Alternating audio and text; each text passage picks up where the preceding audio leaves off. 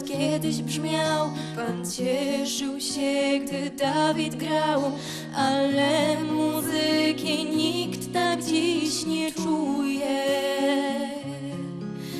To kwarta, kwinta, tak to szło Raz wyżej w dur, raz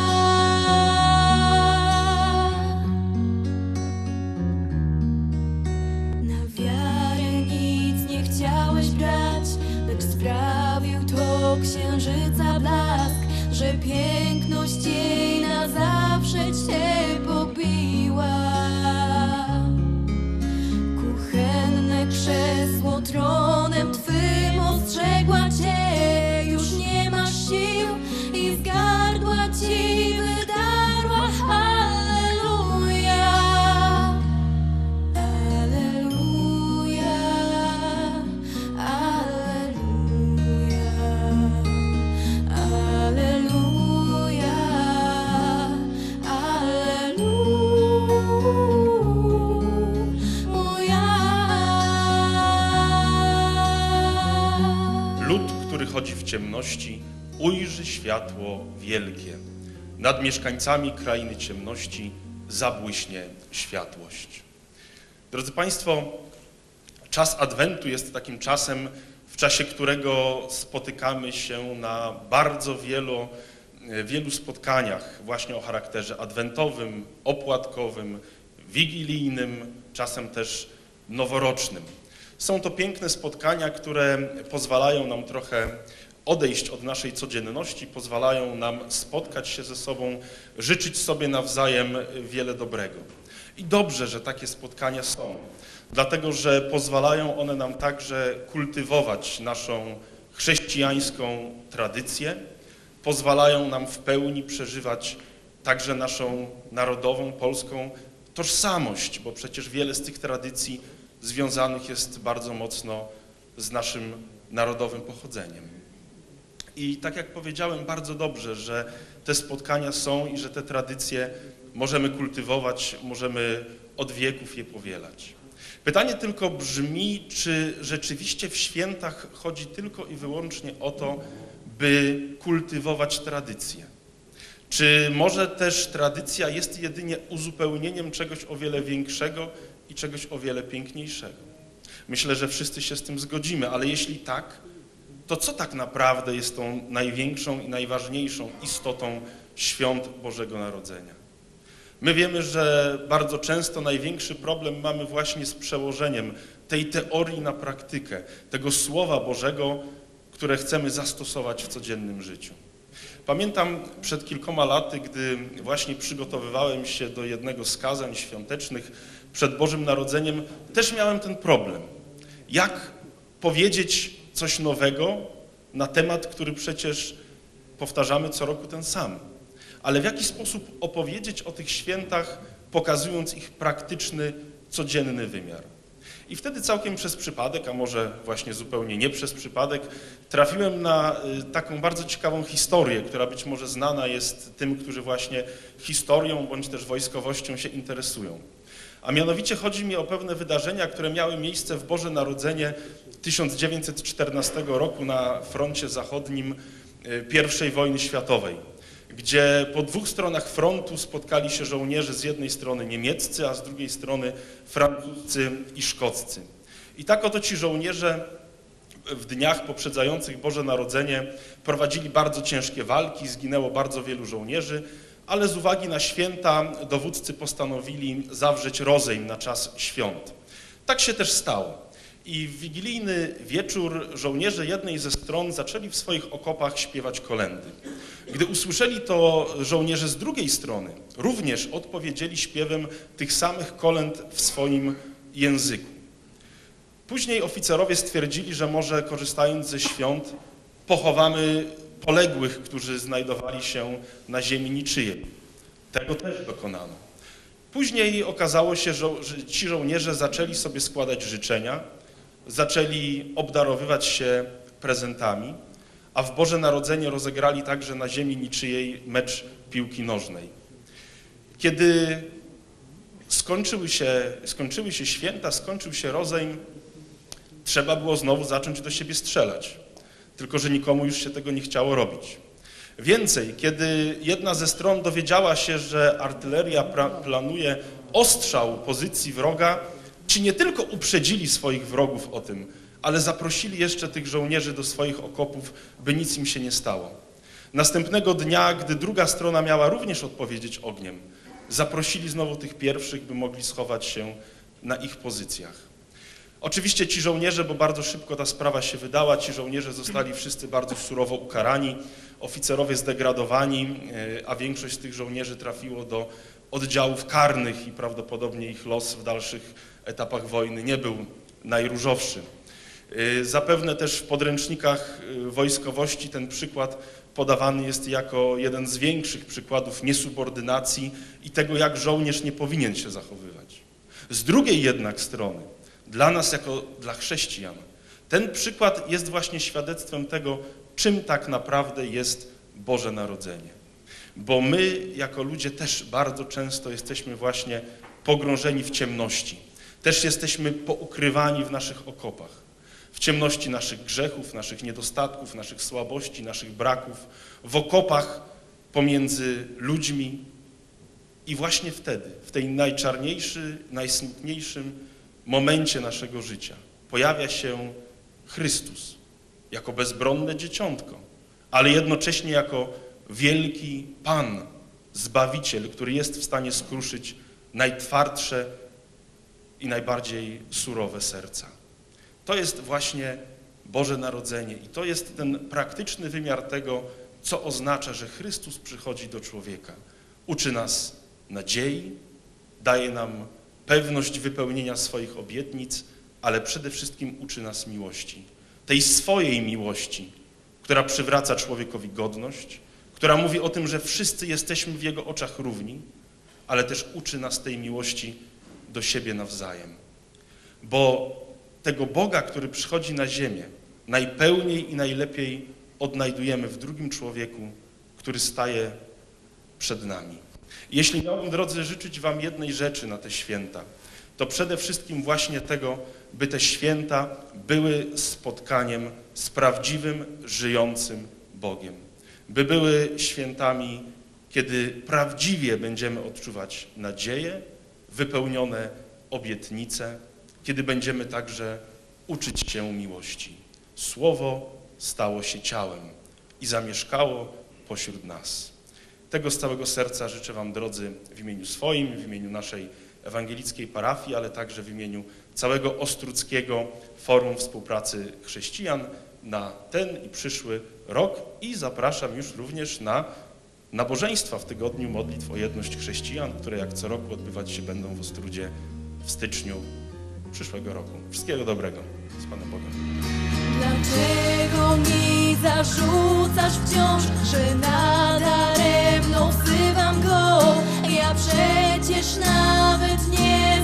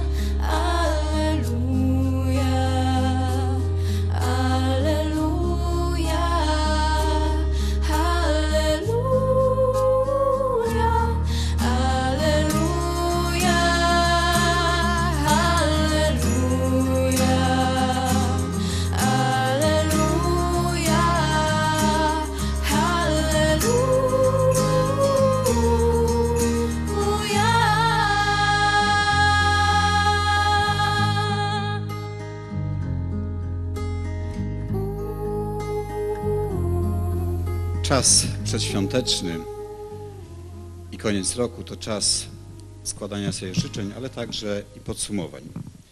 Ja w imieniu samorządu, którym mam zaszczyt kierować, chciałbym podziękować za ten rok, dobry rok dla samorządu powiatowego. I te podziękowania kieruję do pana marszałka, do moich kolegów, samorządowców, bo myślę, że to dla nas wszystkich dobry rok.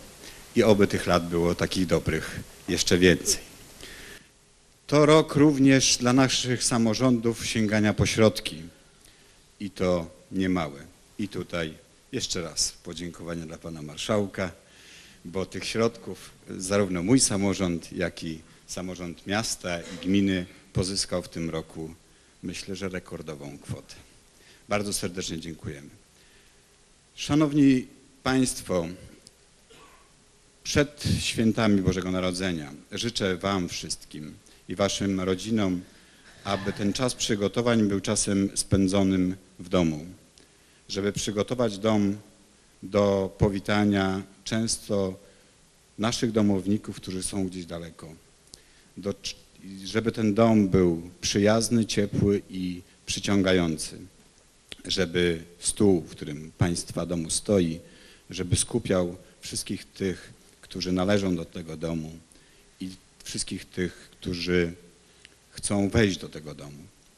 Wszystkiego dobrego zdrowia, przede wszystkim zadowolenia z życia, zadowolenia z siebie i planów, które można zrealizować.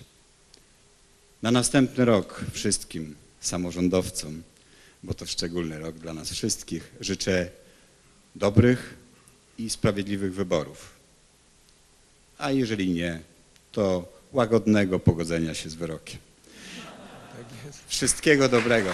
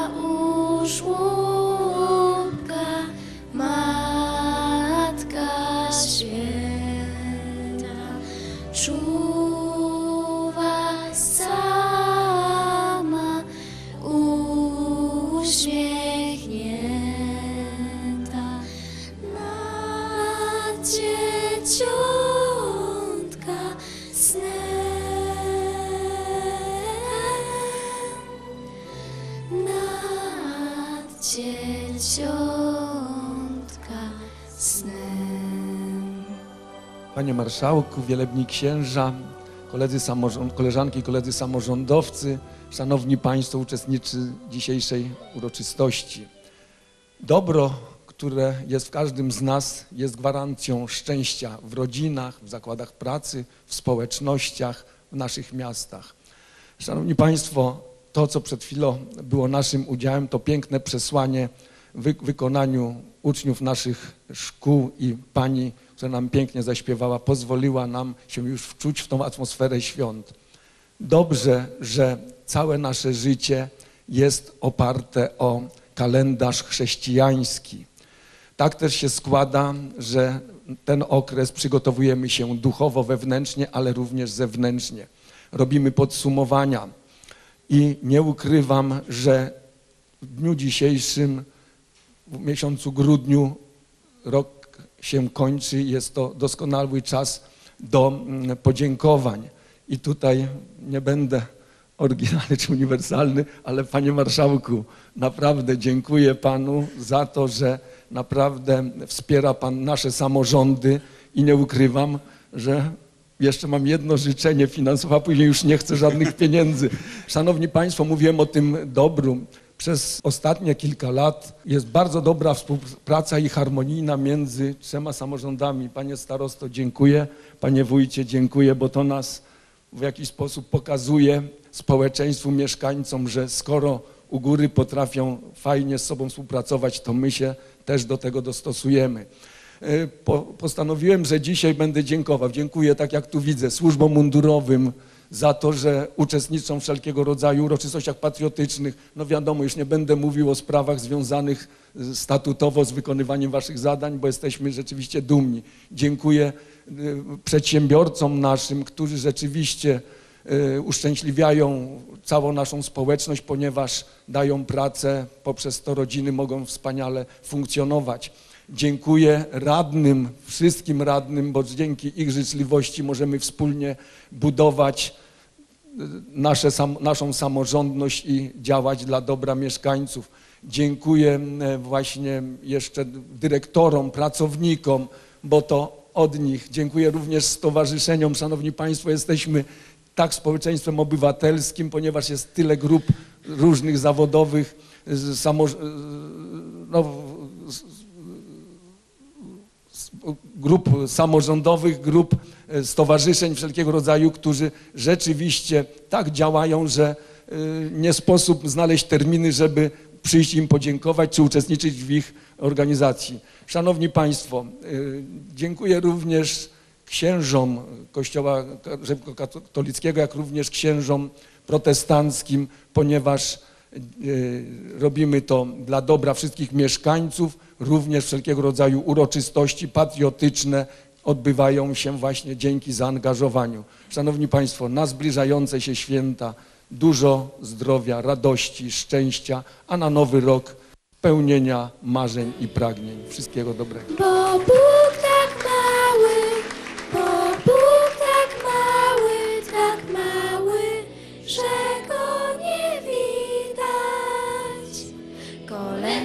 Płynie z wysokości, kolenda płynie. Śpiewa na całego z wysokości, śpiewa na całego. Kolenda płynie z wysokości, kolenda płynie. Śpiewa na całego z wysokości, śpiewa na całego. Daj nam Boże wiarę,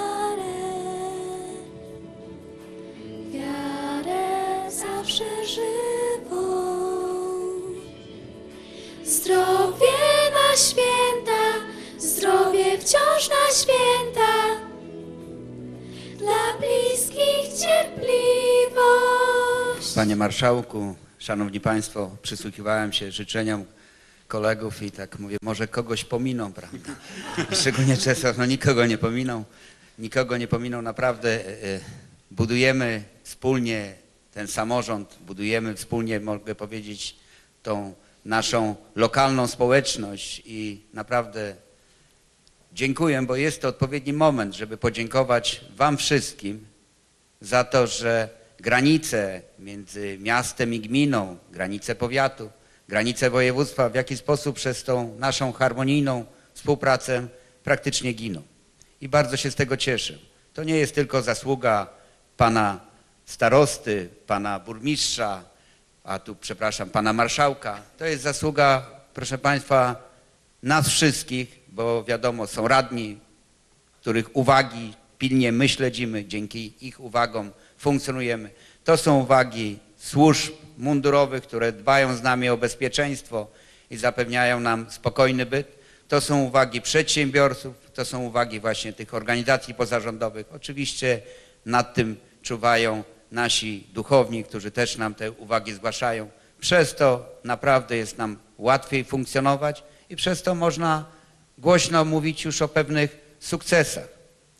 E, Dziękuję panie marszałku za, za, tu, za zrozumienie naszych potrzeb, ale, ale powiem w ten sposób, ta e, współpraca choćby z Urzędem Marszałkowskim, to ona jest czasami bardziej ważna wtedy, kiedy rozliczamy się z tych projektów, kiedy e, faktycznie ta skuteczna koleżeńska, bo to trzeba nazwać pomoc, powoduje to, że e, prawda, tych problemów jest mniej, bo czasami łatwiej te środki nawet dostać, a potem czasami trudniej jest się z nimi e, po prostu rozliczyć, ale to już są nasze, nasze codzienne sprawy.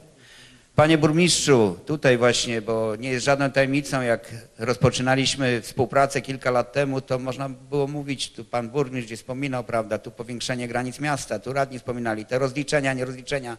Ja twierdzę i wszyscy chyba jesteśmy w tym utwierdzeni, że samorządy, w ogóle nasze społeczeństwo to jest zespół naczyń połączonych i wspólnie wszyscy pracujemy nad tym, żeby nam się po prostu lepiej wiodło i naprawdę za to serdecznie dziękuję. Wszystkim Państwu indywidualnie też mógłbym serdecznie podziękować, bo my tutaj stwarzamy warunki, staramy się być partnerem, ale w rękach przedsiębiorców są te wszystkie ryzykowne decyzje, to Wy te decyzje podejmujecie, to dzięki Wam mamy taką sytuację, że praktycznie nie możemy chyba w naszym powiecie, w mojej gminie, w samorządzie mówić o proszę Państwa, o bezrobociu. Także to jest ta sympatyczna rzecz i naprawdę dziękuję Państwu. Szanowni Państwo, każdy z nas piastując funkcje, prawda, pełniąc różne obowiązki, wysyłamy życzenia, wysyłamy kartki świąteczne. Czasami tych kartek jest tak dużo, że człowiek jest nie sposób, żeby je przeczytać, ale naprawdę za wszystkie życzenia dziękuję. Fakt jest jeden. Na tych kartkach, proszę Państwa, najczęściej pojawia się słowo rodzina, pojawia się słowo radość, e, pojawia się słowo miłość, życzliwość. I chciałbym, żeby znaczenie tych słów towarzyszyło nam nie tylko w czasie zbliżających się świąt, czy w czasie w ogóle świąt, ale żeby znaczenie tych słów towarzyszyło nam przez cały rok i jeszcze, jeszcze dłużej. Także wszystkiego, wszystkiego najlepszego życzę Państwu. Dziękuję bardzo. To jeszcze jedno życzenie z naszej strony. Dużo cierpliwości, ponieważ inwestycje się nie kończą, będą małe utrudnienia e, i wiecie, ale my jesteśmy, szanowni państwo, przyzwyczajeni, a to firmie Budimex, która budowała te drogi, budowała, już prawie one są na ukończeniu, będziemy korzystali z ich pracy. E, Duże było zaangażowanie Generalnej Dyrekcji Dróg Krajowych Autostrad, będziemy prosić o cierpliwość i współpracę przy budowaniu wiaduktu. Także, Szanowni Państwo, dużo cierpliwości i wszystkiego, wszystkiego, co najlepsze.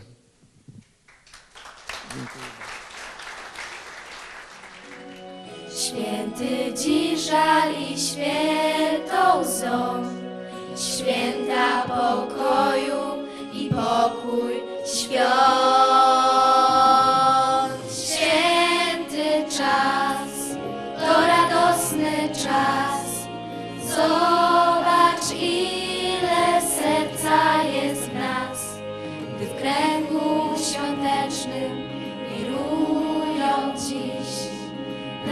Nasze nadzieje na nowe dni. Szanowni Państwo, widać na pewno, jaką ogromną wartość ma wspólnota. Każda wspólnota, ta e, najmniejsza i, i ta samorządowa, i ta współpraca samorządów e, we wszystkich, e, można powiedzieć, obszarach działalności licznie tutaj Państwa zgromadzonych i reprezentujących i e, swoje profesje i służby i troski. I troski o to, żeby było dobrze y, wokół y, swoich y, tych y, branżowych rodzin, ale też tej wielkiej wspólnej, lokalnej, samorządowej i tej wojewódzkiej. Bo tak prawdę powiedziawszy, to województwo ma swój samorząd, ma sejmik, ma zarząd i, i e, marszałka, który sta, stara się jakąś tym mm, kreować i dowodzić, ale wszystka e, ta wartość i znaczenie województwa bierze się od samego dołu, od gmin, od mieszkańców, od e, powiatów i od działalności wszystkich struktur, które są rozmieszczone lokalnie, dają ten wynik pozytywny dla całego regionu Warmii i Mazur. I za to chcę serdecznie e, podziękować, bo faktycznie jest to taki czas, gdzie oceniamy miniony rok i patrzymy z nadzieją na przyszłość. Y, Jestem dumny naprawdę i szczęśliwy, jak dochodzi do podpisywania umów, które są wynikiem pisania dobrych projektów.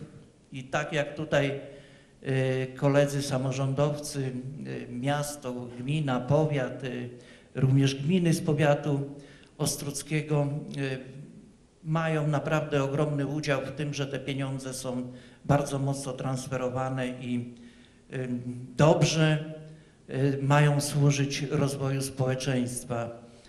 Wszyscy mamy swoje zadania, ale samorząd województwa jeszcze oprócz tych własnych takich, za które y, ciągle jesteśmy i dopingowani, rozliczani, to jeszcze pełnimy taką rolę mm, koordynacyjną, taką przyjacielską i taką, krótko mówiąc, wdrożeniową, bo to jest ogromny y, bagaż pieniędzy, miliard 728 milionów euro, to jest, są pieniądze bardzo duże, ale są bardzo trudne. I e, gratuluję naprawdę i dziękuję za tą współpracę samorządom ostruckim.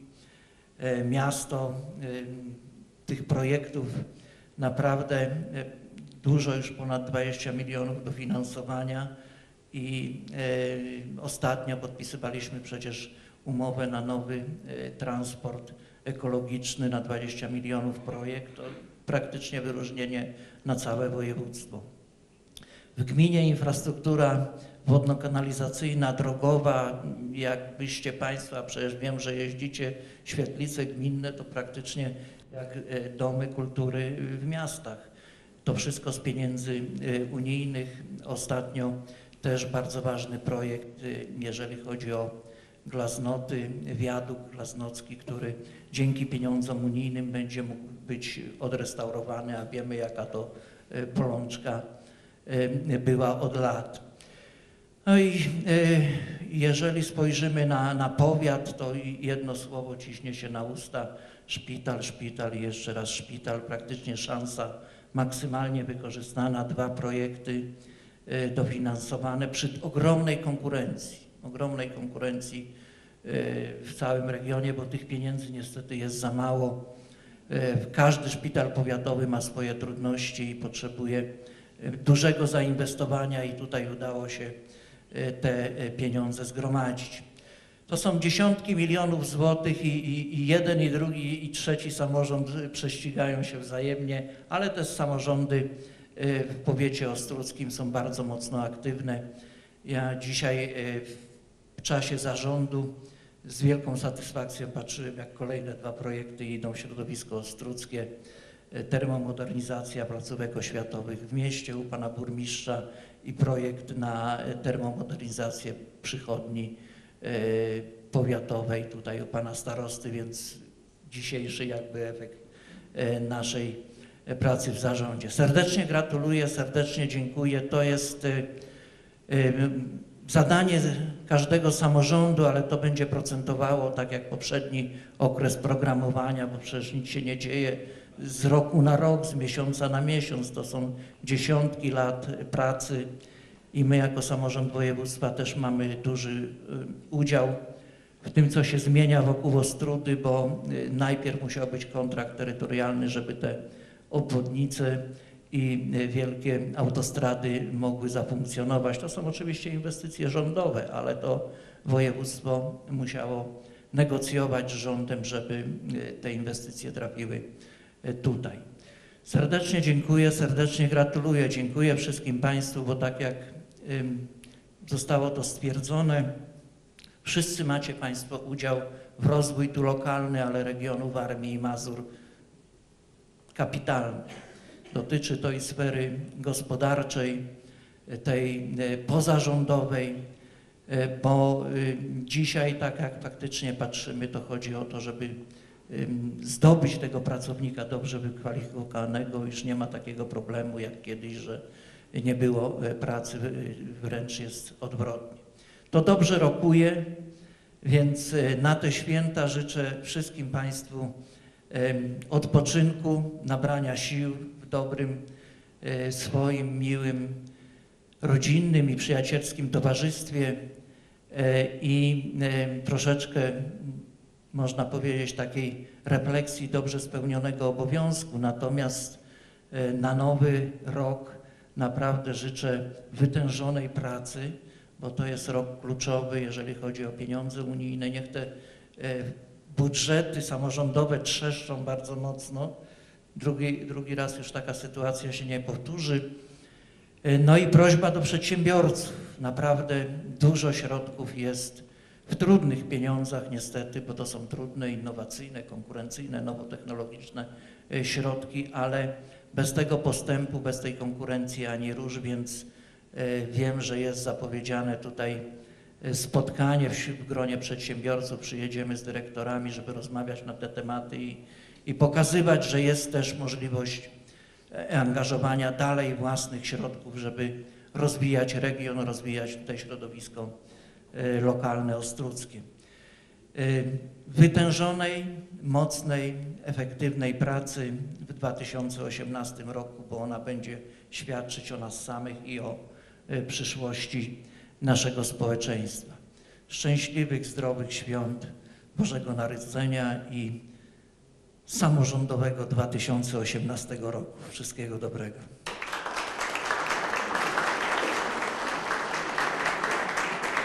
Dla kolegów samorządowców tutaj ostruckich bombki na świąteczne choinki samorządowe od marszałka.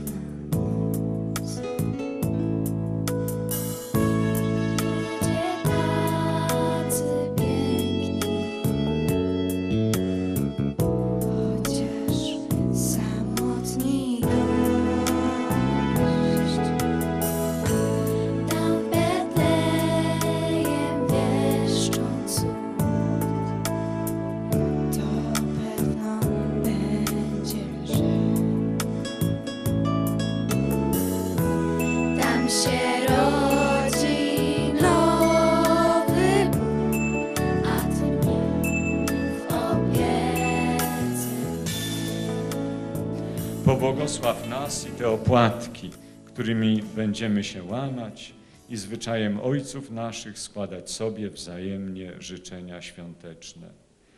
Panie, Ty sam nauczyłeś nas tego, aby w znaku przełamania się chlebem dzielić się z innymi, a zwłaszcza z potrzebującymi, miłością, życzliwością i pokojem. Obdarz więc nas wszystkich Twoim pokojem, abyśmy wspólnie sławili ojcowską Twą dobroć przez Chrystusa, Pana naszego. Amen. Panie Marszałku, Panie Starosto, Panie Burmistrzu, Panie Wójcie, przewielebni księża, przewielebni pastorzy, Szanowni Państwo, Boże Narodzenie zawiera w sobie wiele pięknych symboli i znaków, wiele głębokich treści, które wprowadzają nas w piękny, taki rzewny nastrój, ale które też napełniają nasze serca radością, optymizmem. Jednym z takich bardzo pięknych znaków jest wspomniane przed chwilą światło betlejemskie, światło Chrystusa, które zabłysło dwa tysiące lat temu dla całego świata w Betlejem. I to światło roznoszą harcerze i skauci.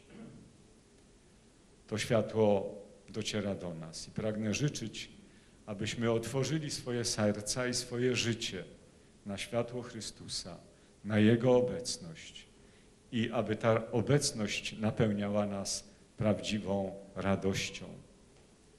Jeszcze jednym takim pięknym symbolem jest dzielenie się opłatkiem. Symbol taki bardzo polski. Jeżeli przełamuje się z kimś chlebem, to oznacza, że życzę mu dobrze. To oznacza, że jestem mu przyjazny. Życzę Państwu, abyście doświadczali przyjaźni i życzliwości i żebyście zawsze sami przyjaźń, życzliwość umieli dawać innym. Życzę wiele pomyślności, zdrowia, wiele radości z okazji nadchodzących świąt, a też w niedalekiej perspektywie już nowego roku. Szczęść Boże. Górę gwiazda Jezusowi w obłoku, w obłoku Józef Panną asystuje przy boku, przy boku Hejże no dyna, dyna, narodził się Bóg dzieci na Betlejem, Betlejem Hejże no dyna, dyna, narodził się Bóg dzieci na Betlejem, Betlejem Mój osioł w parze służą przy